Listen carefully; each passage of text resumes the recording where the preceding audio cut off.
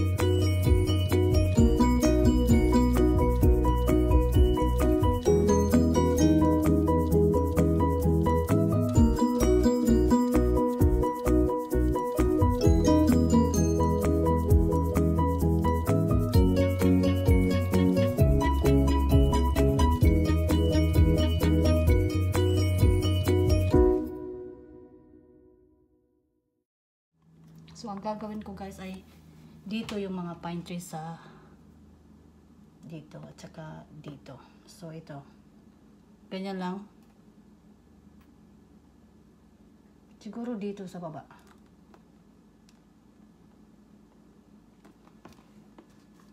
Thank you.